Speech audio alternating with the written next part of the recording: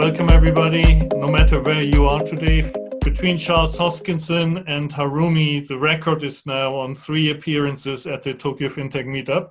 Harumi started her career as the first woman on the fixed income desk at Morgan Stanley here in Japan and was the first topic we talked about on a panel on diversity and inclusion. She's doing some initiatives outside of finance and doing startup on space data. So it's called Celestial Data. That was our meetup almost a year ago. And normally it would be the time now for you to return and see your family again. And given the environment, we decided to do this virtually, which is great. It gives a few more people the opportunity to attend to learn, in the first place, what Celsius is. And secondly, have maybe a, more general discussion about DeFi, decentralized finance versus centralized finance versus legacy banking, etc. So that's enough for me. Thanks Thanks, Harumi. It's great to see you again. Take it away, please. All right. Thank you so much for tuning in to hear a few things that we're doing at Celsius Network. A few years ago, when the blockchain really became a thing that everybody began to talk about, the founders of Celsius also got on that wave, started the company. Actually, it's one of the very, very few companies, I think, that raised ICO, that raised the first capital through ICO, and it's still alive and actually living with a solid business model. I think there's a lot to be said about that. So, what is really Celsius Network? Our mission is to put interest income and economic freedom in the hands of the people by taking it away from the banks. So, I mean, we all have a bank account somewhere. I do too. And how much interest do you earn on your hard earned US dollar or JPY or whatever the currency that you earn? Less than 1% nowadays, right? Celsius, depending on which currency you have, whether you have Bitcoins, Ether, uh, stable coins, percentage varies because the rewards that we pay on each coins really depends on our needs, where the market is for each currency. Just like if you have multiple currencies around the world, each currency earns a slightly different interest. But I guarantee you, it's not less than 1%. The lowest one that you will find is somewhere around 5%, and it goes all the way up to 15, 16%, depending on what currency you have and what kind of combination you have. So we are trying to provide a economic freedom by earning hard on your hard earned dollar. The problems that we are solving, we are trying to basically provide as much return on your money as possible. That is really the bottom line. But when you have cryptocurrency, what are some of the problems you face? You don't go to bank, deposit bitcoins and say oh please give me an interest on that. So there's really no obvious way to earn interest on your currencies. And if you want to borrow against your cryptocurrency position it's very hard to get loans because it's still not considered as the real assets by many financial institutions. And there are very limited number of tools out there for you to do the investing thinking about how to manage your portfolio, however that comes, and also buying and owning crypto is difficult. How many of you really have wallets? So we know that it's more difficult. You can just go to the website and then find any financial institution, hit the button. You have to do a little bit of homework first. We're solving all these problems by acting as the centralized finance amongst the decentralized finance industry. That's what I always say. We are the CeFi of DeFi this company started really mobile app first. We are currently developing a web app as well. So it is going to change just a few months down the line. But right now, we are the mobile app company. And all the stats that you're going to see, they were the numbers that we took as of June. And things really, really have been going up and up since then. So the numbers are really outdated, although it's only four months ago. For example, our fund size is a little over 600 million. Now we actually have a billion and six.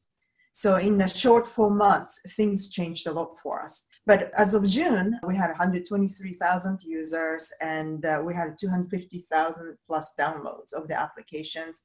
80% is really coming from word of mouth, very organic things. We don't do a big sort of marketing or advertisement, buying an expensive advertisement space or something like that user growth and retention. As I mentioned, um, we grow really fast. And from the middle of last year, it's been even already seeing this curve and it's only accelerating faster. So over the last year, the app downloads increased by 230% and over 85% of the people actually completed the KYC, know your customers meaning they did all the paperwork and all that stuff, and they actually are using the application in one way or another. Money over IP business model. So, how do we generate income? Okay, fine. I give you my Bitcoins, and then somehow I get the payout every week. How do you make money so that I can receive the rewards on my Bitcoins and then other coins? It's because we are doing something with your coins once you transfer your coins to our wallet. We do make a lot of loans to both retail and institutional clients. So we actually have B2C and B2B aspect to our business model. Basically, the retail customers mainly use telephone apps, deposit the coins to us, and sometimes they borrow money using their own coins as collateral.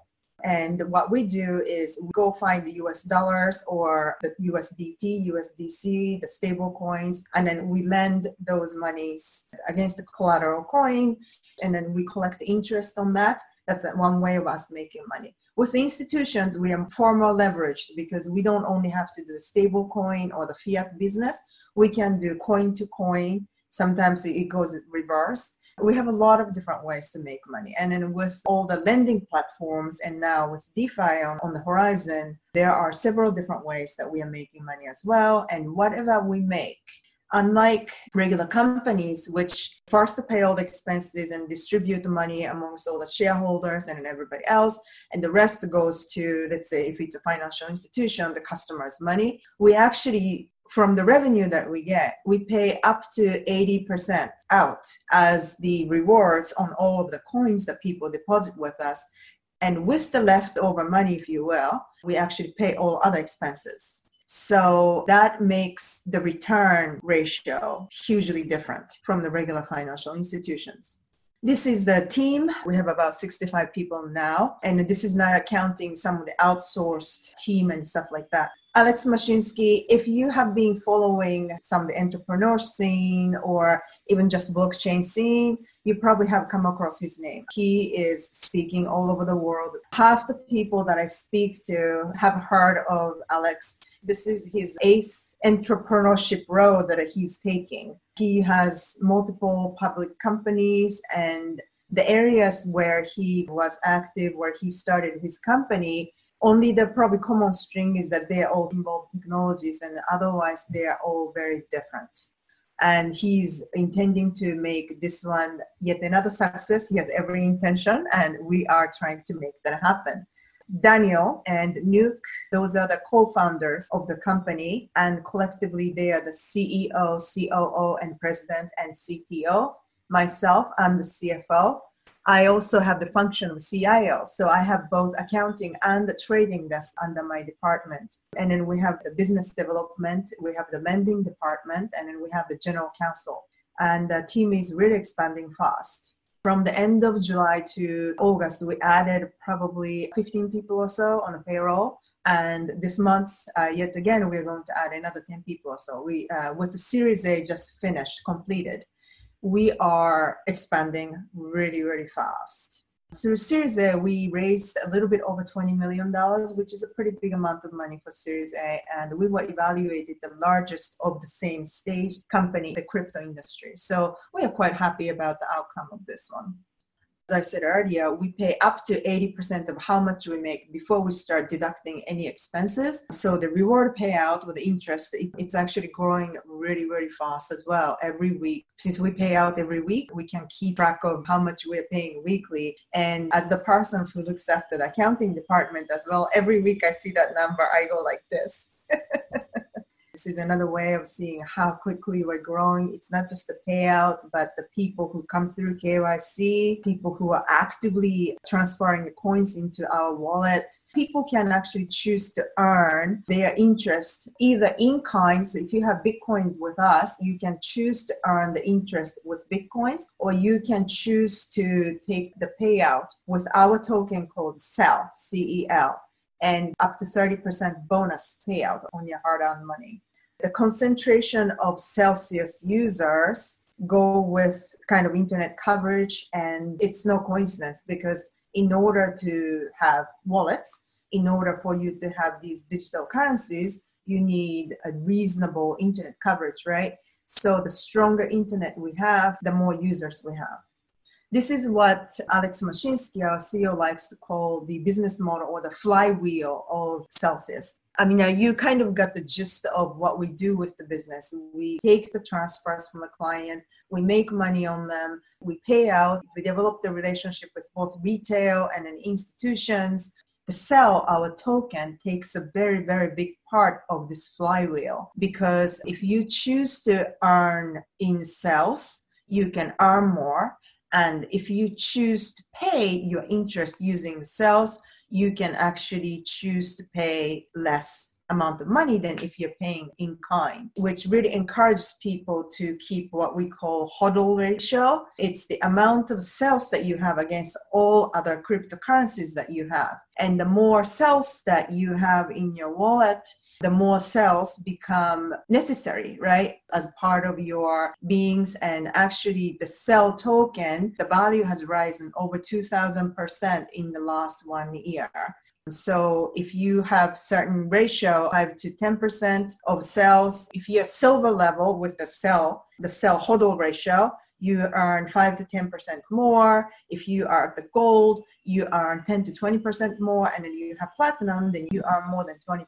So that's really our flywheel looking to sell. I think it's something, if you are into uh, cryptocurrency, it's definitely one of the tokens out there that are relatively hot right now about Line. This partnership just opened a few weeks ago. At least some of you are from Japan, you know what the company is. But for those of you who have not heard of Line or who are not quite sure of what our partnership with them is, actually, because Japan is a very heavily regulated country when it comes to blockchain cryptocurrency business, we can't just drop a person in Japan and start an office there to start taking the coin transfer from the people in Japan so we formed a partnership with Line, which is one of Asia's largest tech conglomerates with 84 million users of their messaging platform alone to utilize their customer base and the legal existence in Japan to start opening up the business in just one week after we officially opened, we already have 6 million worth coins coming from this partnership. So we are very excited about this partnership and that we want to assure you know everyone that we are taking every steps, every measures we can take to make sure that we are going to stay legal so that we can continue pay out the high ratio on your hard earned money that you trust us with. The first question that came from India and was asking how many users do you have in India, but maybe you can answer a bit more broadly in terms of overall regional distribution. The regional distribution right now it's like you know 30 to 40 percent US or North America, another 30 to 40 percent overall sort of uh, Europe, mainly Western Europe, and the rest spread out throughout the rest of the world. We do have our office presence in the US, the main office being in New Jersey, since New York is probably some of you know, um, it's a little bit more difficult place to operate as a crypto company. So that our head, our U.S. headquarter office is in New Jersey, Hoboken. We are a UK company because of a lot of different types of regulations that we have to deal with. So although we are a Delaware company, our headquarter office is in London, UK. And we also have a big presence in Tel Aviv, Israel because of where our founders come from. So out of these offices, those are only the offices, the physical offices that we have. Yet we have our customers because this is very much digital business. You can be anywhere. You can be on the moon for that matter to operate this business, and you can still serve everyone around the world. So we actually do have 30, 40% coming from all over the world you're registered in the US in New Jersey, so just across the river basically. But that also means you don't have a crypto license from the New York Department of Financial Services. Does that then mean you essentially can't do transactions with New York State residents? We can. We just are not able to hold the customer assets outside the wallet, which is not able to operate in New York. So we actually have a separate custody business with the entity that can take the New York coins, a uh, New York residence coins, I should say. Understood. The model that you've implemented with Line, as long as you're dealing with a counterparty that also has a US entity, Bitflyer, for example, is an obvious example. They have a US entity and a European entity. You could essentially implement a similar structure with them as well, right? Absolutely. So we no longer have the partnership in place because the regulations are even more difficult in Germany but we did have a similar relationship with Bitwala. They were sort of like you know, white labeling, you know, our solution to do something similar. So yeah, we can actually definitely have this kind of partnership formed all around the world. It's more about because we're still small company. I mean, we're growing really fast, but you saw it. We have 65 people. If we end up having 100 different partnerships, it's very difficult to manage. So we have to be very strategic as to like you know who we work with definitely some you know exciting institutions that are now approaching us. It used to be just a year ago right? We were approaching we, we were outreaching to them but now we're hearing the other side you know saying you want to work with us. So we're very excited about that. The line business is one side of our equation right? To take the coins in and then but we do need the other side of the business too to make this holistic which is we have to be able to find a partner where we can do the lending through so in order for us to make money, right? So right now we take the coins and we will deploy wherever we can. So it doesn't have to be like, you know, it doesn't have to be deployed to the Japanese market. But if we can also do the other side, right? Um, people can take the loans against their own collateral instead of us always finding every single use case for all these coins coming from Japan, that is like a holy grail for us. So if you can think of someone, I'm all ears. If you look at it from a product perspective, 200% over collateralization is maybe not that that bad, although we, we can talk about the risk side as well, but it's also not tremendously efficient. So are you looking at ways to make it more efficient? So it's maybe only whatever, 50% more, 20% more, and, and you, what's the, the product roadmap further out from here?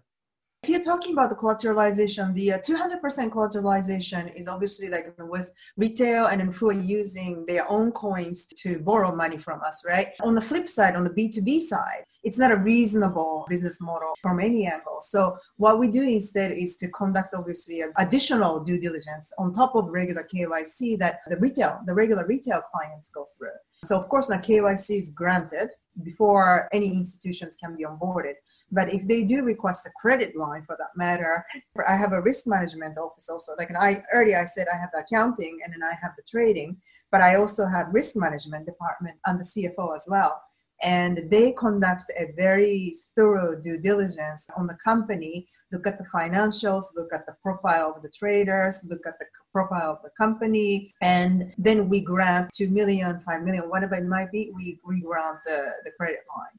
So there are two slightly separate things going on depending on if you're talking about retail or if you're talking about large institutions even with that safety margin and the risk metrics in place, we did have the Black Thursday in March, and the prices more than halved. At the time, Maker, of course, got into a bit of trouble, and now we got a class action lawsuit pending there. And I remember that Alex was tweeting at the time that was actually one of the best days in Celsius histories because a the, the system was robust enough it didn't break down it didn't have any issues. It was obviously an environment where the, the interest rates went through the roof so both celsius and the participants on the platform had a record earnings day. What did the organization learn from such an extreme price movement? So, I mean, Alex is absolutely right. It was actually one of the best days that we have had a lot of you probably have done some kind of trading so you know that the trading game although we don't want to make it that way somebody's gain somebody's loss somebody's loss is somebody's gain right? So we actually happen to be on the right side of that market. Uh, i mean we clearly saw what was going on so we were able to take advantage of that. And then if you remember what I said, we actually pay up to 80% of what we make. The advantage that we find in the market is actually advantage for our clients. And yes, we did have robust enough system so that there was some like you know, panic withdrawal, right? Just like anything any trading related institution that you can think of, there was some kind of withdrawal uh, on that day. But everybody was able to, including really large withdrawal, were able to complete the withdrawal within the time frame that has been allotted for any kind of you know, large amount. So the system held. Our trading business did very well. We met all our margin calls that we were called, and all our clients met the margin calls and only the people who chose to liquidate the position because they didn't want to submit additional margin they voluntarily liquidated. So there was no like forced liquidation like many other exchanges and in other places that just kind of forced the meltdown to happen. As celsius obviously that was a really busy day. That was one month after I joined Celsius as a CFO and CIO, and I had a much smaller team back then. And I was going like this every five minutes. Oh my gosh, where am I going to find all these coins as the margin calls are coming in? But somehow we managed to meet all of them. My staff did a really excellent job.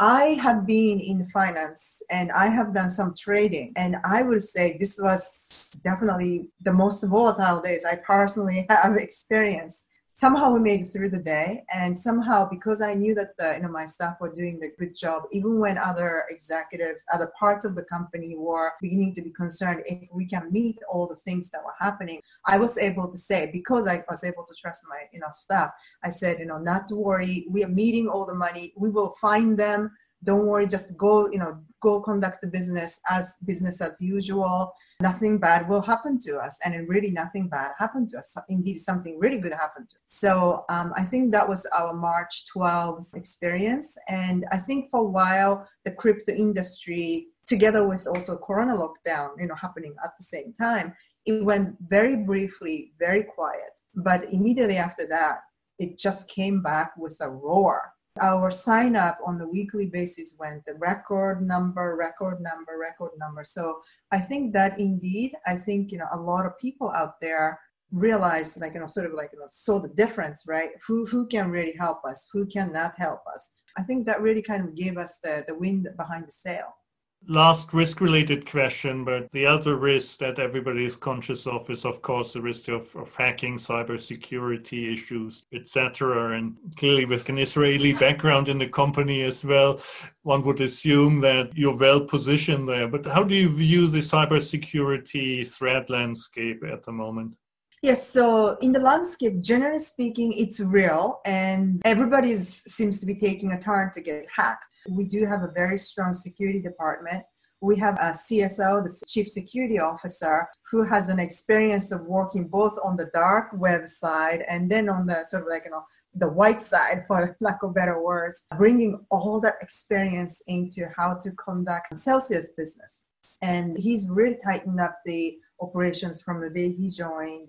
So we already had a fairly good security system prior to that. But since then, you know, it's almost like, right? I mean, for us who have to do the day to day business thing, it's almost like, oh my God, no more security talk, no more security this, no more security that. But he's obviously like, you know, pounding us with it. He's like testing us, he's sending the test emails. A lot of people, you know, sort of like tripped over those things first. But now, because they got trained so well, if some email comes that is legitimate, we're still asking questions. Should we op- should we actually open this email? But that's the kind of mentality we need in order to run the business of this nature, right? So um, I think both financial security and cyber security, I think we have a very good team working at Celsius that keep us safe on any given day so that I can do my job. I wanted to ask you about Alex as a person because he's got a very interesting profile some people react very positively to it and somebody uh, he might rub a bit the wrong way which is fine i think. No, no issue with that. But he posted a few weeks ago he harvard business school case study which i think was on his earlier companies maybe even his first which was like a telecoms venture in the 90s and the study was written 2001 i think. So it's a little older. What can you tell us about him as a person as a character obviously I don't get intimidated too easily, but the very first time I sat down with him, I'm like, what did I get myself into, right? I mean, how did I get here? An investment banker, very traditional investment banker girl who started in Tokyo, how did I get here? That's how I felt at the beginning. Yes, I mean, just like any strong leader, there are times when he states very strong opinion, and then that does, like, you know, sort of create that bipolar persona that you described at the beginning of this question. When you actually sit down and talk to him, he's very reasonable. I think that's that's a key you can be a little bit eccentric sometimes like you have to be a really kind of like strong standout personality in order to drive 10 sometimes like thousands of people right to success and have multiple ipos in your past. You really have to have that kind of personality. But when you sit down and talk to him and then when you really listen to him you actually hear that things that he says most of the time make sense. And that's i think important because business no matter what kind of business you run you need to have some common sense and you need to have some business logic in order to be successful. If like somebody like edison from the past is reborn into the present world and tries to run a company he's probably not going to be too successful because he's a little, little bit too out there. So you really need a person who can actually try to take the whole sort of company a little bit out there so that you are bringing some innovation to this world. But at the same time you know you have to be able to fit that into the real world and for that you need a real person i would say alex definitely brings in that kind of quality to company yeah that's valuable it's going out to the edge looking over getting scared at times and backing off but at least pushing the envelope and, and yeah. trying to move forward Wonderful. Thank you very much again for getting up this early. It was fantastic to see you again. Good rest of the year, and then hopefully we get to see each other in person again in 2021. Absolutely. We've got to really make this an annual, like minimum annual thing. So I'm looking forward to next October, November. Thank, Thank you. you. Talk later.